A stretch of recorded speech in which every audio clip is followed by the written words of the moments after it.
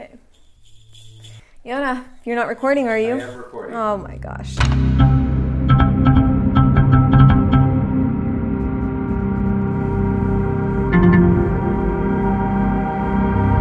Hey guys, I'm Diksha. I'm a third year podiatric medical student at CSPM, and today we're going to add on another wonderful episode about exploring the nine podiatric medical schools. Again, why are we doing this? It's because we're only students at CSPM and we don't know enough about all the other podiatric medical schools and so we wanted people who are qualified to talk about their specific medical schools. And so today we have Stephanie and Tolu from Step Into Pod. They are an Instagram channel and they have an IG live that they're constantly doing. And it's to promote awareness about podiatry and also just talk to you about the perks and what it's like day in and day out of being a podiatric medical student. I have all their information in the description below, so check that out. And without further ado, let's watch Stephanie and Tolu.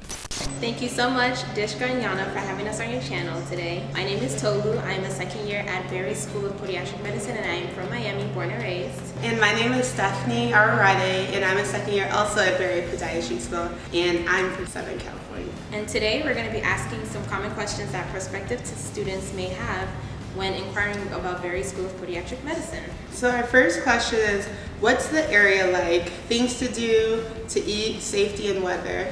So um, the weather in Miami is very warm, it's humid, you don't have a winter, so that's something you should expect um, while being here. We also, um, a lot of things to do here from good food, a lot of a Caribbean vibe we have, as well as um, with safety, it depends what area you're living in. So you always want to check out the specific city you're looking at within Miami. Um, we have the beach that you could do, there's a nightlife, there's restaurants, um, you have the Keys which are close by, and also you have Disney World not too far north. Um, the next question is, what is the living situation like? Um, in regards to living here, um, you do have a good price range um, um, where depending where you live. So the closer you live to the city, for instance, Brickell is a really popular area in Miami and that will have a higher price range probably for um, a one bedroom you might find it around like 1500 to 1800 right yeah. If you live closer to the suburbs or by the school then you will have a little bit lower than that for a one bedroom but you do have the option of living with roommates which will help drop that price but my budget when I came here was around 1400 a month for a living. Safety is a big issue down here. Um, there's some areas you don't want to be in at night. Um, and since I'm living by myself as well, my budget around was like 15 1600 just because it's like the safety reason so you want to live on like the better side of miami and it's a little bit more pricier the next um, question would be class sizes and what classes we take our first year. So um, the class sizes, our class was around 67 students and that's kind of the average we get. I would say the, cl the classes we did take were, uh, our first semester we took Gross Anatomy, our yeah. favorite. Dr. Kali, shout out to you. we did Biochemistry 1. Yes, that's her favorite subject. Yes, I love biochemistry. We it's did histology.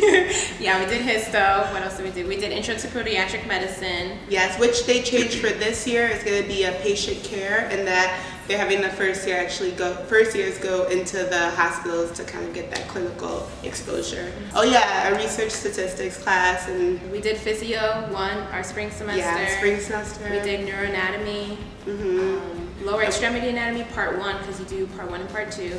And then biochemistry, and biochemistry too as well. Too.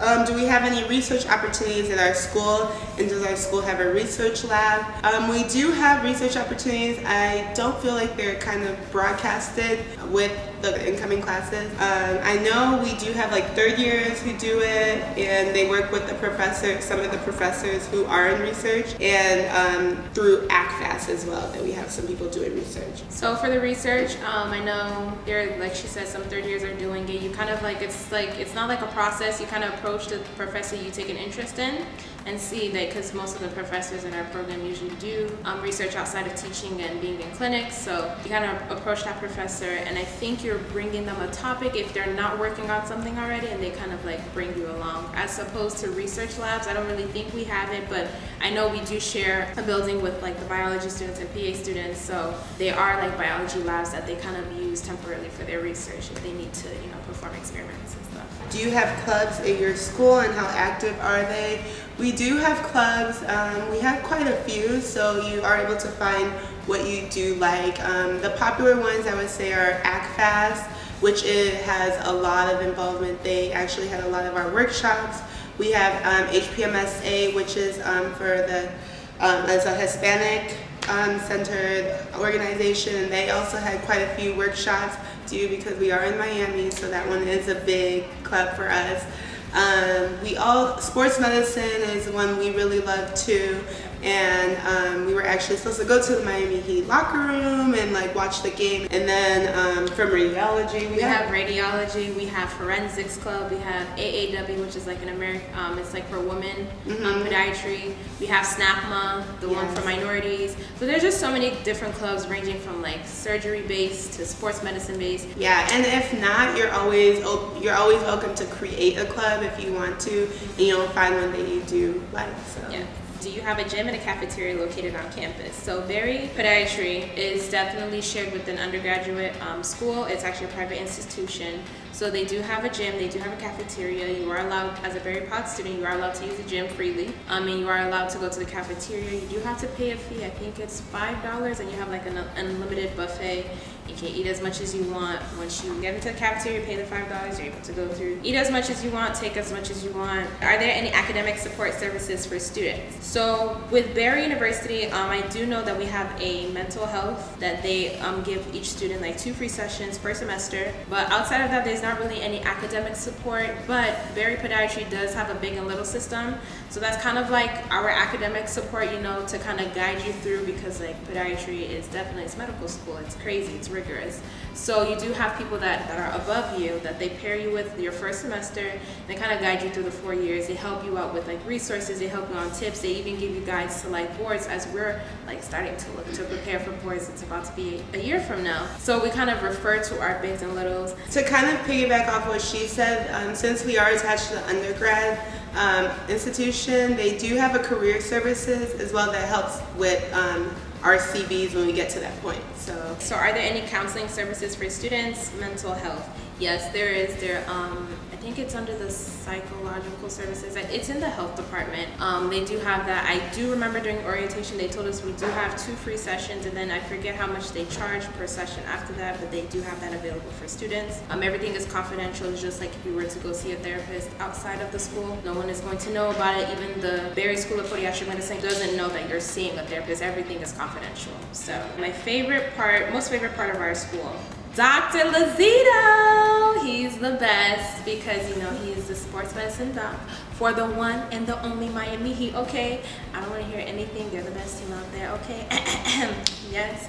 But he's like legit. Anybody that thinks of Barry Pod, they think of Dr. Lazito. And it's not because of only the Miami Heat. I mean, that's like the greatest aspect of it. But the fact that when you meet him in person, you shadow him, he's just so enthusiastic and passionate. He is actually one of the people that made me look into podiatry. He, the way he interacts with his patients and knows the patient's background, what they're going through, and he's not like seeing you as a patient. He's relating with you, and he's very, very full of energy. So he's my favorite part of Barry Pod. I would have to say Lazito too, and then um, just being in Miami, this is a great place to um, at least live for a couple years, and if you don't, you're able to try it out and see and diversify your life. Does the school have a special group to help spouses or family members for acclimating to medical school? So I do know some of my classmates, they do have families, but they kind of group them together. It's like a group of um, in our program that like the first year, second years, and third years, they're all in a group and they kind of like watch their children. They made like a group where like if the husbands are like, you know, in clinics or they're rotating, the wives of them are gonna be like taking turns to like watch the kids all together or if they wanna go on date night. So they do have things like that, but the school itself, I can't personally speak on that. Um, does your school offer scholarships? Yes, it does. Actually, Barry is known to, they give the most scholarships out of the podiatry school and it is merit based. So um, just keep your grades strong and you should get a good scholarship from them. And that is something that they guarantee for you every year if you maintain a GPA. Do you need a car and is there public transportation? So there is public transportation, but I'm going to tell you, this is Miami, this is not New York.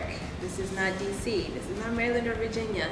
The bus runs every six hours. I'm not even joking. So if you leave in the morning at seven, you could be waiting for your bus for like four hours. And it's hot outside, it's humid.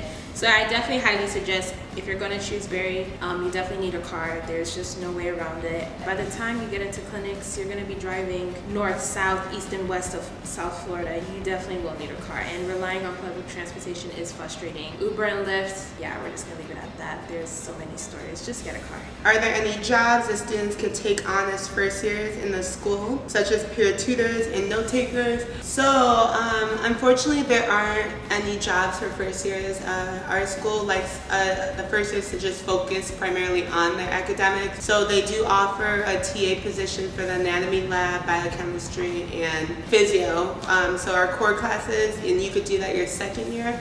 So they just want you keep your grades strong. First year, please do not worry about working. You need to understand how you study. You need to know what works for you, what doesn't work for you, and that's just a lot to handle without like taking on a job of like you know having to work as well. I feel like second year, you know, if you don't want to, you know, do the school's job, you can do stuff like babysitting or Mhm. you know if Tutoring. you're like tutoring or sometimes if you can work late nights and you can do stuff like that. But I just highly, highly suggest first year, please focus on you. How often are certain facilities open for students, like labs and gyms? So our anatomy lab, one thing I liked about Barry is that we have open lab um, during the week before our exams, so you can come in at any time, and sometimes it's open as early as 9 in the morning to almost 6, 7 p.m. at night, and you can be in there for hours in the cadaver lab, and it's only the bodies that the podiatry students are working on. Nobody else gets to share the bodies with you, so it's only podiatric students that are allowed in the labs.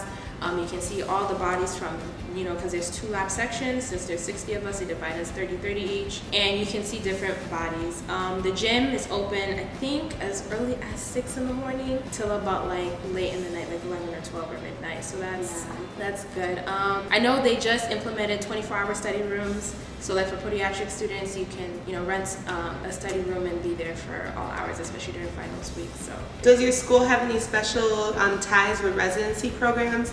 We actually do have our home hospitals and clinics, so um, those are going to be tied with the residency programs if you're looking to stay in Miami. It does give you a higher chance because you are exposed to the doctors that work in the clinic and they're able to see how you are as a person. But I wouldn't say there's any direct ties. I think the only one I would say that's a direct tie is the Mercy, which is a sports medicine um, fellowship, if I'm not mistaken. But you know that is a very student-led clinic that you have there, so that's one of the good things about Barry. And um, most of the students that you know rotate there and stuff, they too tend to gear more the Barry students because you've been there They for two you. years. They see you your third year when you rotate there, and they see your fourth year when you extern there as well too, because you do have to do one externship at your home school. So. And the last thing is there any other information that you think could help prospective students? Um, I think we pretty much covered everything. But if you pick Barry, just remember you're coming to Miami. There's no other place you'd rather be than by the beach. It's hot 24/7 all year round. We don't experience four seasons, um, and definitely uh, it can get distracting. I'm not going to lie to you. I was born and raised here, and I tend to be distracted. but you know, you definitely have to remember you're here for a sole purpose. just to stay focused. And to add to that, I also like some of the things that differentiate Barry from other podiatry schools is um, it has a dual program of the DPM MBA, and also um, they do have a, ch- a cheaper tuition than the other schools, and um, they give you the most scholarships. So those are the three differentiating factors I feel like, and And you're this is Yeah. another place where you will see very diverse patients. Yeah, and I feel like that's population. one of the biggest things that really like make you a good physician is that you can treat all all different patients from different races. And I feel like you know Miami's the best place because we're like the melting pot of the United States. You see everyone from everywhere, everywhere. So it's really really good. And if you're trying to you know break that cultural barrier, trying to make yourself multifaceted, trying to make yourself diverse as well and stand out from the crowd, Barry Pod is the place to come. And our class, um, the first year um, of class of 2024, they are 55% female, which is wonderful. So we're really excited about The that. And we are a very diverse class in both class and faculty. So Yes. yeah, that's a big thing for us. Thank you for tuning in and thank you, Dishka and Yana, once again for having us on your channel. And we hope to meet you guys eventually.